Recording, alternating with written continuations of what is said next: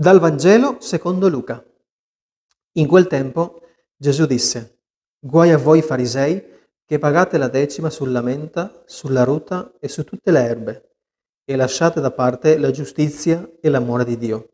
Queste invece erano le cose da osservare senza trascurare quelle.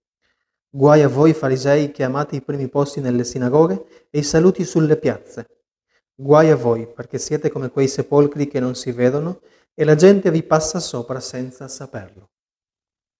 Intervenne uno dei dottori della legge e gli disse, Maestro, dicendo questo tu offendi anche noi.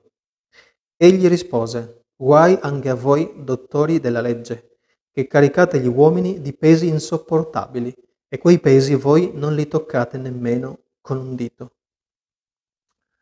Dicono ma non fanno. Se c'è una cosa che Gesù rimprovera fortemente nei Vangeli nei confronti dei farisei o dottori della legge, che potremmo essere tranquillamente anche noi nella nostra vita, nel, no, nel nostro modo di fare, eh, altri, semplicemente altri farisei o altri dottori della legge, se c'è una cosa che Gesù rimprovera è proprio eh, l'incoerenza, oppure eh, l'apparenza, oppure il fatto di soffermarsi in maniera eccessiva a dettagli che sono molto secondari eh, e che non portano da nessuna parte, soprattutto perché eh, a volte questo porta a trascurare l'essenziale.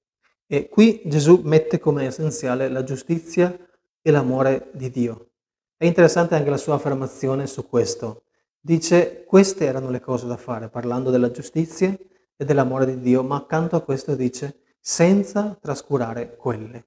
Gesù non è contro la legge o contro delle regole eh, da osservare, se queste sono importanti, ma che eh, non sono eh, l'ultima parola, ma tutto questo devono aiutarci a vivere ancora meglio la nostra vita, a portarci al cuore della questione, a ciò che è fondamentale, a ciò che è essenziale.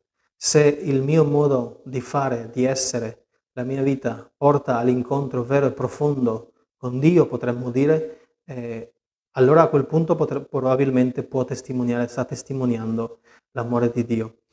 Questo eh, Gesù eh, invita, mentre rimprovera l'incoerenza o l'apparenza, invita a, a, a non trascurare mai l'essenziale, ciò che conta alla fine, in fin dei conti, nella nostra vita, nella nostra fede.